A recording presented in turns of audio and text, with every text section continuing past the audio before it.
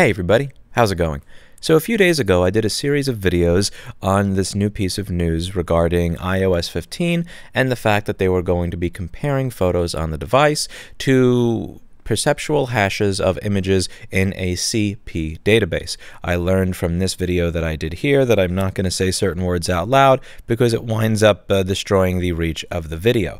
So in this video, I discuss my thoughts on this, and the title of the video is pretty self-explanatory. It says, the erosion of freedom and privacy occur because we consent to it. And what happens is we like to accuse an evil government or an evil corporation, but at the end of the day, we end up policing ourselves, and we end up getting into these situations situations. I remember when a lot of of these data centers were being built in places like Utah. I remember when the Patriot Act came out. I remember what the people around us were saying. It wasn't like there was this widespread how dare you moment and everybody came together and disagreed with the surveillance state. It what wound up happening were a lot of normal average everyday people were going up to those who disagreed with these actions and saying you must not be a patriot. You must not be American. You must want to see more terrorist attacks. You must not uh, respect our freedom.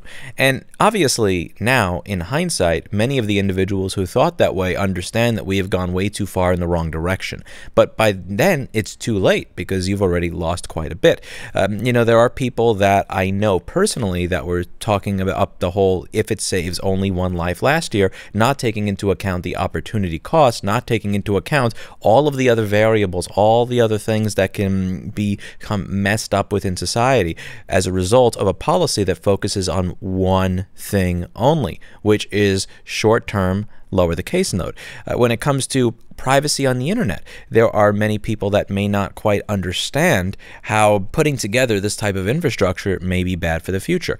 And I talked about how people don't necessarily speak up in the beginning because they're afraid of the pushback. And I just kind of wanted to go into this a little bit with a real world example and give you my thoughts on it. So if you disagree with what I say in this video, because I will admit when it comes to perceptual hashing and everything involved in this process, I am not an expert, I would highly suggest that you listen to this video Let's Give Apple a Fair Shake on Privacy, where we were wrong to be mad at them, and more importantly, this one, which is an interview with Daniel Smullen. He is going for his doctorate degree. If you just take a look at his site, this is the pretty much the opposite of me when it comes to certifications, education, publications, citations, experience. Again, it, it, someone who's mildly more qualified than I am to talk on these issues. And you may find this interview that we did to be, be pretty fun, particularly if you're someone who just who thinks that I maybe have gone a little too far with it. But what I want to talk about here is one of the comments that I received.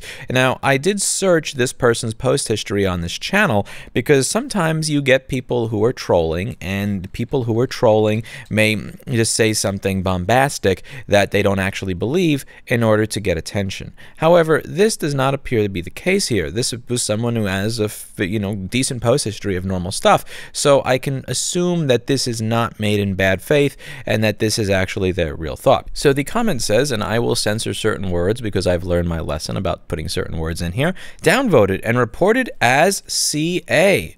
P.S. CA victim talking. I was eight when I was seven years old, back in 1992. Long time back, but I remember everything. Who cares if a random is looking at your pics and videos? It's for a good reason. Stick to right to repair. You have no business entering this area. And this was someone who seems to disagree with my idea that just because bad things have happened in the past and may continue to happen to people into the future, that does not mean that we are either A, going to fix this issue, B, nor that we have the right to fix this issue by spying on everybody all the time. And I said, just because you were abused does not mean we should all be spied on to the end of time. Don't weaponize your personal experience. I had a parent who screamed at me until 3 a.m. every single night until I moved away when I was 17. Should every phone be recording all the time to prevent this too? You don't get to deny people's Fourth Amendment rights because of your personal experience, and you don't get to weaponize your bad experiences to justify taking away the privacy and freedom of other people.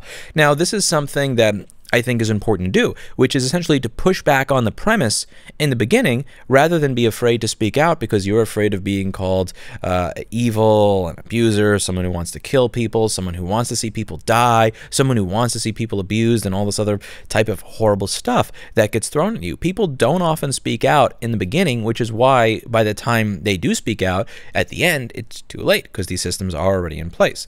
And uh, someone said, if you can stand behind your actions against child. Uh, CA, you are a piece of crap. just like most other New Yorkers. Go F yourself. I really hope you don't have kids.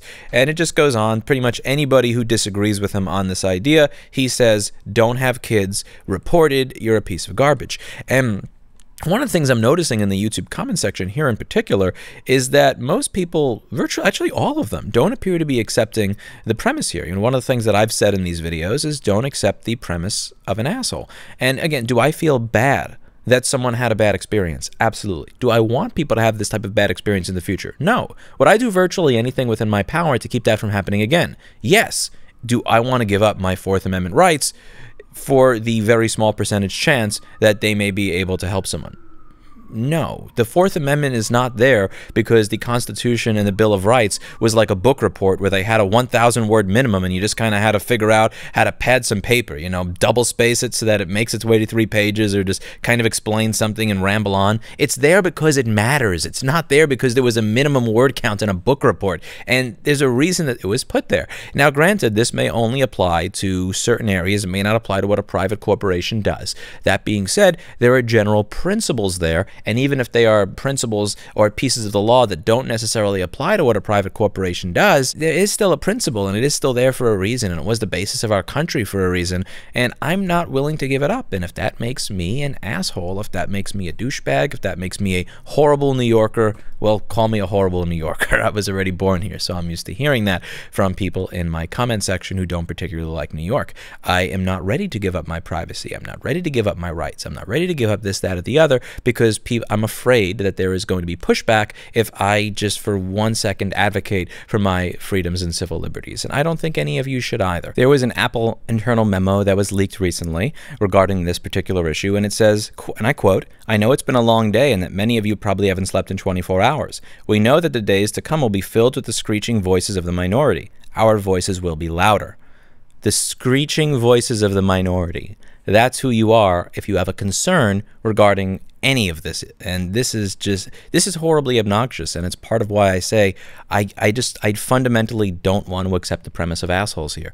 The issue here is that if you have a difference in opinion on how to achieve something, that must mean that you don't want to achieve it. If you have a difference in opinion or a difference in philosophy on how to achieve a productive, successful society, it can't be that you have a difference in opinion on how to get there. It must be that you don't want a peaceful and productive society. If you have a difference in opinion and how to achieve a world with less abuse, it must not mean that you have a difference in opinion on how to get there. It must mean that you want to see more abuse. And this is fundamentally what I'm talking about when I say don't accept the premise of assholes. Don't even reply to it. Do you do you want more people? No, I'm like I'm not even going to uh, respond to the question as to whether I want more CA to happen because I I'm not accepting your premise in the first place that because we have a disagreement on how to get there, that it's a binary. I am starting to see the tide turn with regards to civil liberties and freedoms. My fear is not that the tide is not turning. It's not that people aren't sticking up for their civil liberties, freedoms, and rights. My fear is that in many ways this may be too late. As explained in this interview that I did with uh, Daniel Smullen over here, we, you do have many other cloud service providers that do this exact same thing. So again, if you're using a, uh, an Android phone and you're using Google Drive or something or Google Photos to upload your stuff to the cloud, this stuff is getting scans in very similar fashion for the same general reporting purposes. Uh, this seems weird because even if it's only doing it on the photos that are being uploaded to iCloud, just the fact that that type level stuff is being done client side versus server side, it just seems like one step closer to just ugh, something that sends a chill up your spine. But in reality, this should have not been the hill to die on. The hill to die on was two or three or five, or dare I say it, uh, 10 years ago. My, my fear is not that the tide is turning with regard to public perception when it comes to their freedoms, their privacies, and their civil liberties. It's that it turned, but just a little too late. Let me know what you think in the comments down below. That's it for today, and as always, I hope you learned something.